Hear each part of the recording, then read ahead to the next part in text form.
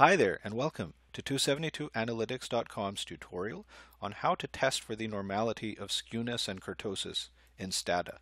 In order to do so, we'll start by loading the auto dataset, typing in WebUse auto.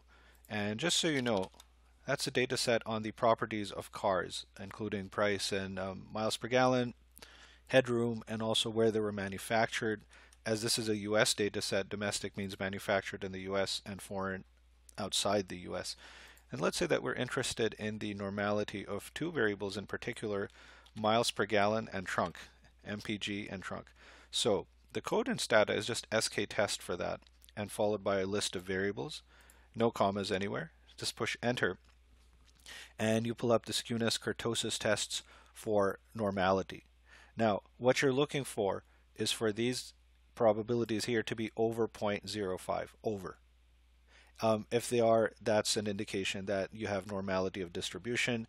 You have a column for skewness, one for kurtosis, and a joint column for both skewness and kurtosis. Starting by looking at the joint column, we see that trunk is uh, normally distributed. It's not normally distributed, however, in terms of kurtosis. So if we wanted to break up that kind of judgment of where the normality of the distribution of trunk is coming from, we can kind of guess that it's mainly from skewness, it's not from kurtosis. Uh, conversely, miles per gallon is not uh, normal in terms of its skewness because it's uh, below 0.05 and its joint kurtosis skewness probability is also not normal because it's under 0.05.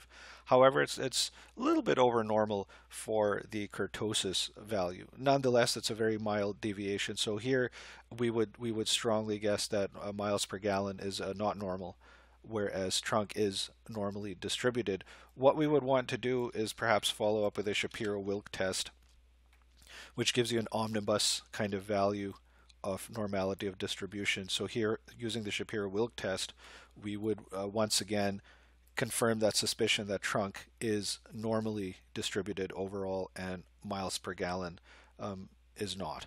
And something we can we can do even further, we can just look at quick histograms.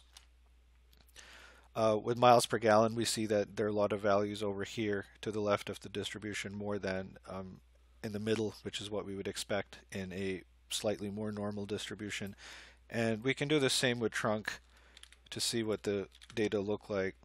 And here you kind of see, yeah, of course it's not perfectly normal, but it, it, it takes that general Gaussian shape generally that you would expect it to have uh, if it were normal. So anyway, when you are conducting the Shapiro-Wilk test, this is uh, ordinarily all that you will be expected to do in terms of reporting on the normality of a variable. But the skewness kurtosis tests are also nice because they add a dimension of insight into the data.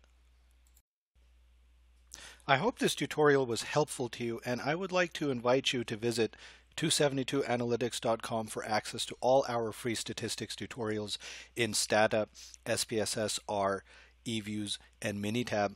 Here at 272analytics.com, we provide data consulting primarily to graduate students. Therefore, we work very closely with you in order to perfect your Chapter 3 and Chapter 4. That means helping you design surveys, uh, getting your data input, assisting you with fashioning appropriate research questions and hypotheses, uh, getting your data, extracting them, transforming them, cleaning them, uh, putting them through analysis, uh, interpreting them, explaining them to you, so that at the end of the day, you know exactly what story your data tell, why they matter, what they mean, in a manner that lets you write a, a perfect chapter four, uh, following a perfect chapter three, and lets you defend your dissertation or thesis with complete confidence. We provide ethical consulting. It's not a writing service, so you will be responsible for taking our blueprint, our assistance, our consulting, and transforming them into an appropriate academic project for yourself. I'd also like to remind you that we provide the same services to undergraduate students who are working with quantitatively oriented assignments. Thank you so much for listening and have a great day.